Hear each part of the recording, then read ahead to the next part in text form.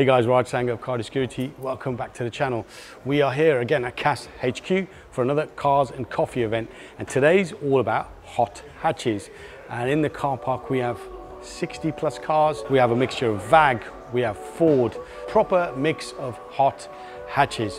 As always, I'll take you for a little tour of the car parks, show you some of the cars out here, and uh, hopefully we'll grab two or three owners and talk about their cars. So guys, let's get into it.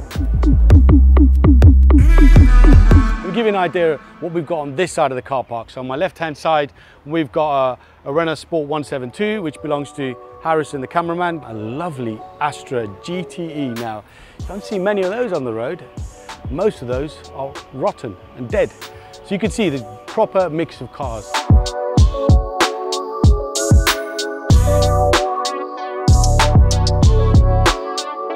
Yeah, this is the first time we've had a hot hatch event here.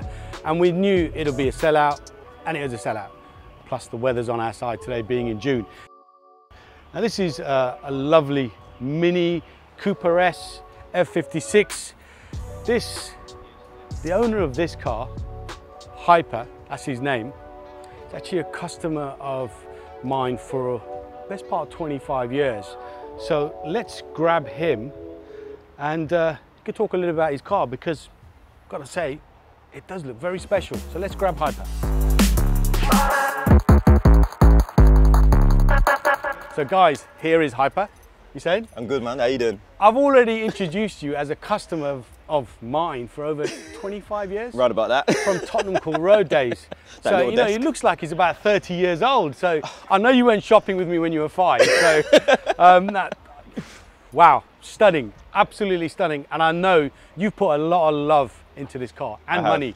I have. All right, so come on, let's start. You've got the bonnet open for a reason. So I have. What's going on here? All right, what you do, everyone loves carbon. The Eventuri is where it's at. so that's what we've done here. Shout out to Eventuri there. Definitely. Um, front end, we've gone, gone for a JCW kit. But what I've done is bought a, a black set. So I have contrast black a, and red. It's a Cooper S. It's a Cooper S, yep. but with JCW kit. So just okay. a bumper, grille, um, and then splits and spats. Is this the original paint? That's the original paint. It's called Burning Red. Not many cars are made with it, so it's not a JCW normal red. It's a Cooper, um, Cooper Burning Red. What kind of power do you think you're pushing down on this? Not kind, sure, to be fair. You have got? What, what, all I can say is the Golf R has trouble keeping up. Ooh, ooh, That's what I can say. fired there. what can I say? okay. I think it's down so to the remap. If, if, you see him driving around and you've got a Golf R, we need to see that. What we can need I to say? see that. Um, static, Air? Um, run on air, um, Prezi bags and airlift management system. Okay, I already knew that, but I wanted him to say that. and uh, wheels, what we've got? Um, JP Racing's, nine and a half inch wide, um, 18s, um, tucked under, VAD design, wide arches. They're quite bespoke. So, yeah, so these minis. are additional arches they that are you've additional, added on? Yes. And going on to the interior. So inside you can see a lot of carbon fibers added. I've made a bespoke, one of a kind center control holder for my airlift controller. Um, Scully, my main man, been there from day one. the carbon fiber steering wheel, uh, all the gloss back parts, um, sound system upgrade. So we've got the Hertz mid-ranges um, in the doors, I've upgraded all focal all round as well, running three amplifiers, two AJR audios and a Rockford in the middle. Air tanks are also in there as well, and the custom built speaker box with the shallow. You've done the work yourself, haven't you? All myself. Hat off to him. Exhaust? Exhaust from Powerflow um, in Mitcham. It's a 3.5 inch bore into 4.5 inch tip. Lovely looking car, and the fact that he's you know a customer of mine for 25 odd years is, is a very long time. Absolutely amazing. Mate, good to see you here. No, thank, thank you, you very much for coming. Guys, if you got to go far, you see him driving around, let's see what this man gonna be hyped up. Let's see what this car can do. right, let's uh, let's carry on walking.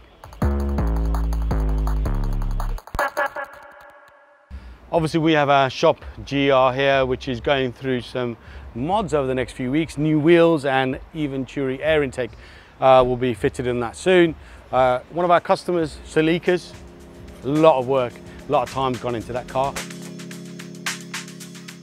But a car that caught my eye uh, when it came in was this lovely Mark II Golf, which highly modified. Um, bucket seats, no rear seats, rear cage. Lovely, lovely stance, lovely setup. Looks, looks the part. I love a Mark II Golfs. Unfortunately, Palm's not here today, and if he was, he'd be all over this like a rash R32 Golf there as well. So guys, what do you think of Dougie's Mini? Has been here before, but he's never come in his Mini. He's always rocked up in his uh, classic Merc. And when I heard he's got a Mini, it's like, you need to get it to our show. This is something very special and hopefully we'll grab Dougie and he can uh, explain what he's done to this car because it's a lot of work and a lot of effort that's gone into this car. Now, a car that's been breaking the internet recently is Curtis's Polo. Very, very, very controversial. A one of one with the body kit. I quite like it. A lot of, a lot of effort's gone into making this car look the way it does. We'll grab Curtis and we'll have a, a chat with him and he can tell us briefly, because I can imagine the list is probably endless, of what he's done to this car. How have we ended up here? Well, Briefly, keep it brief. So, so uh, I built it wide bodied before. A body shop owed me like some paint. I'd done a bit of work for them. Right, Um, and then in return, they said they'd paint my car. So rather than just getting a respray in just a standard car, I just started cutting it up, made some arches for it. these wings are not something that you can buy off the shelf. No, no, definitely not. They've been fabbed by you, Yeah, one by of me. one of one either side. W- Well, yeah, yeah. So Wow. I actually, I actually made just one side, um, templated it, flipped the templates, and then just made a jigsaw puzzle which doesn't have anything to line up and just. Uh, What a crazy Yeah. build. Now, engine-wise, that's no stock engine. So talk to me a little bit about the engine. What, have you done all the work here as well? Yeah, yeah, done all the work apart from um, the paint, uh, the boost pipes, and uh, the wire inside of it because it's an engine swap, but still running on a stock ECU to then work with the dash. Like you can read codes, everything how, how you're supposed to. Um, this is on Airlift V2, is it? V2, yeah, yeah. Airlift just V2 and wheels. uh, wheels, Futuras, um, tens all round, but the rears are just barrel flips and had the bo- uh, the barrels polished. That's a lot of dish on the back. just That is a lot then, of yeah. dish. And cage, seats are out of. Uh, Porsche, Oh wow. Yeah. Okay. And obviously bonnet is removable so you can showcase the engine. Yeah. There's a lot of work that's gone into this car. I'm sure it turns heads wherever it goes. yeah, yeah, for sure. The question for you is, where do you go from here? You know, you've broken the internet. Where do you go from here? Get back in the garage and build something else. I think. Well, credit to you, mate. This is an, an this is an exceptional build. A lot of time, a lot of love, a lot of effort, a lot of money, no doubt as well. Yeah. Well done, and uh, Thank you. no doubt we'll see you again at another show. Yeah, no Thanks problem. for bringing it down. Thank you Good very man. much, mate. So my friend Hitton's bought three of his uh, Golfs here. He's got his Rally, he's got his Mark 1 Golf GTI, and he's got his Mark 2 GTI G60 there. Three lovely cars. This one's already been featured on the channel. We've got a bass band, lovely bass band, which obviously we've had to turn the music off for copyright reasons. But let me show you what's in our workshop today. Now, you cannot miss this. This Renault 5 GT Turbo belongs to Maguire's. Uh, it's uh, Tom's car. Now this car is highly modified. Obviously you've got a, a dimmer kit. I'm not sure if it's factory, that I don't know, but the heartbeat has been replaced. So the Renault 5 GT Turbo engine has been removed out and instead Deutsche Tech have installed an engine out of a 182 Cup. So we've got Jazz from WLC West London Classics. His Mark II Golf is here. On air ride. So we just uh, fitted a Rockford Fosgate 10 inch slimline sub in a custom enclosure and there's a Rockford Fosgate Prime amplifier. And then I've got my Series 1 Escort RS Turbo out and yeah, my Renault 5 GT Turbo. Look at, look at the difference between these two cars. This is bog standard. This is highly modified. Proper 80s, 90s, old school hot hatches. This is my era. This is what I grew up on. My, my go-to car back then was a 205 1.9 GTI. Most of my friends were rocking around in Mark 1 Golfs back then. This is very much Ali G-Spec.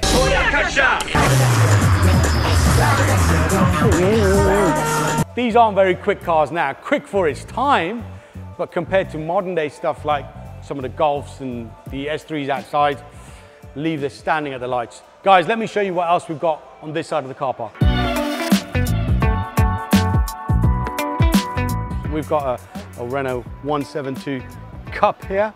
Very nice. I think a lot of work has gone into this. Half roll cage, bucket seats, harnesses, probably does track it. Two lovely Fords on air that I believe we bagged. ST200 and a Focus RS. And the ST200 belongs to, is it Keeley. Keeley? Yep. Hiya. Thanks for coming. How are you? Yeah, good, thank you. This is something that we bagged, your Yeah. ST200. Yeah. Airlift 3P. yeah. And uh, what else have we done to the car? Because it's not just on air, there's a lot No, going on here. Yeah, so I've got the um, OZ Futuras, which are one of three um, in the UK in Fiesta fitment. Right? Um, and quite a lot of camber on the back to, to get them fit because they're quite wide. That's a lot of camber. Yeah. How are your rear wings? Are they damaged or are they Um, surviving? That side is a tiny bit, but other than that, no, not really. And yeah, I've had them for quite a while now, and they're surviving. Stock Um, engine? Uh, it's remapped to 230 brake, so yeah, it was a dyno tuned by my dad.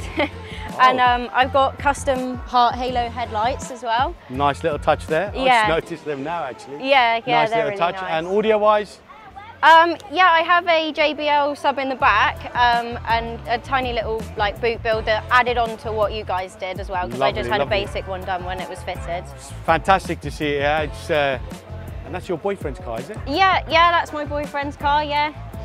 Focus RS again on uh, airlift. Um, but yeah, two fantastic, great looking cars. Thank you for coming down. Yeah. Appreciate you bringing it. Thank And you. No doubt we'll see you again at another event. Yeah, thanks. It's nice to host something a little bit different and probably a little bit younger crowd today. Sort of, I would say the average age, probably about 25. So I'm really bringing up the average age here.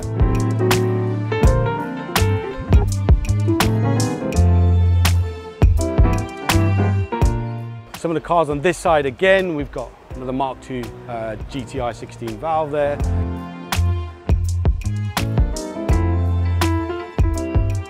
pretty rare. Peugeot 306 GTI 6. There's not many of these about. Lovely color as well. Um, R32 Golf, we've already featured this on the channel. I think Palm featured it last year when we did our VAG Cars and Coffee event. Focus ST, ST200 again, and a Vauxhall Adam. Don't see many of them on the road.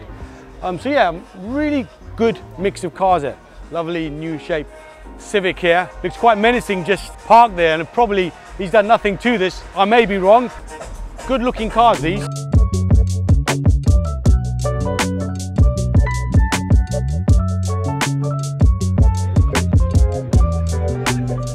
Guys, we've shown you a lot of hot hatches today. Now, which is the hot hatch of the event for you?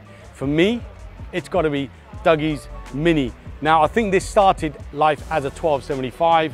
It's probably best part of 50 years old.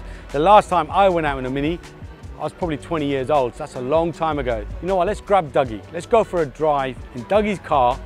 And let's find out what he's done to it because this thing must be an animal on the road.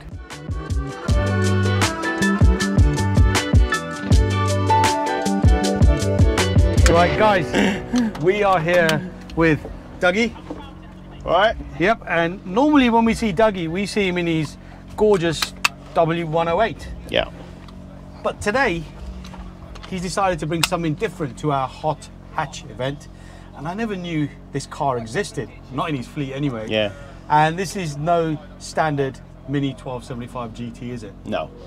This was my grandfather's in 1972 Mini. I actually got it when I was 15. I then passed my test in it when I was 17. Um, so it's been in the family ever since. We, me and a couple of mates, rebuilt this in 2008. Got it in the road 2009, 2010, drove it around. Um, I've actually not driven it any length for the last 10 years. Drove it here, Yeah. survived. Yeah. Right, let's start it up. Good. Let's go for a drive. So it's a two litre Vauxhall engine.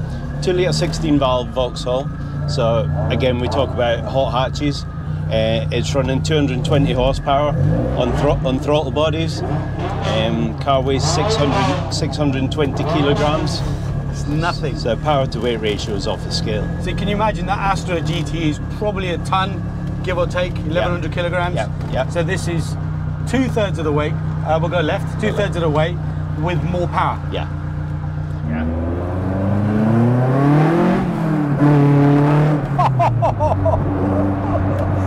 I'm gonna strap myself in. I knew this would be quick, but not that quick. Sounds naughty.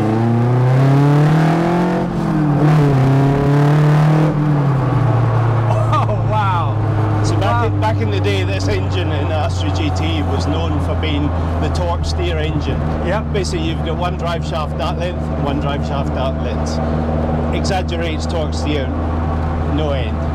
I then add an extra 70 horsepower to the original engine. Yeah.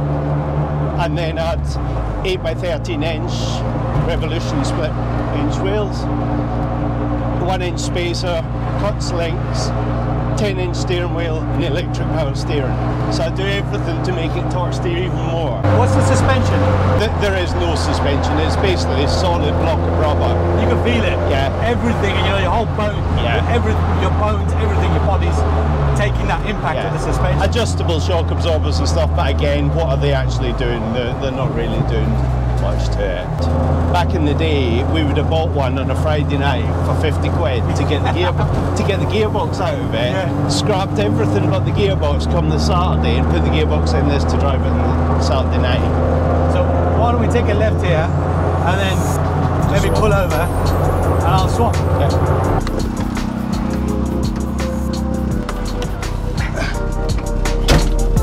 Once you're in, you're in, isn't it? Yeah. You, you go nowhere. These seats are amazing. Yeah. Full roll cage, Full roll cage. carbon interior. Now this is this is something you've fabricated yourself. Yeah, so a friend of mine, he builds helicopter cockpits. So all the carbon is bespoke. It's all real carbon. It's bouncing around all over the place. Brakes are as good as you get in a 1972 Mini. Oh my god. This is insane. They talk about around everywhere. They talk about feedback through the steering wheels. You get feedback through the steering wheel, your arse, your ears, your nose. You get everything. It, this is raw. I was unsure about the size of the steering wheel, but actually It it, works. works. now for the Mm. car because the car is so small. Yeah. You wouldn't really want a big, cumbersome steering wheel. That noise is intoxicating. Those throttle bodies are something else. Especially. I get a lot of pleasure out of driving some really cool cars, some really fast cars. But this is just on an- another level. And it's, you know, brought a smile to my face that I've not had in ages. And I think that's the great thing about cars like this. It is a proper little go kart. Um, Well, that's what they're known for back in the day. Oh, that's the hold on. that's naughty. That is naughty. This could get us into a lot of trouble. How cars do you have to drive with two hands? No, no, you wheel? can't. I, I, even now, I'm fighting with the steering wheel. Credit to you, Dougie. This, you. this is absolutely amazing. This made my day. Do, do you think my grandfather would like it the way it is now? Oh, he'd be looking at it, he's thinking, top dog, what a build. So guys, uh, I'm going to call it a day here. Thanks to thanks uh, to Dougie for bringing this awesome mini down and for giving me the opportunity to, go out in it. Um, what was your car of our hot hatch event? For me, it's got to be Dougie's mini, although it's not a true hot hatch. It's absolutely amazing. Um, so what was your car of the event? Appreciate you bringing it down. Thanks for watching as always. Make sure you smash the like button. Um, give Dougie a follow. His details are on the screen. And uh, hopefully I'll see you again on the channel soon.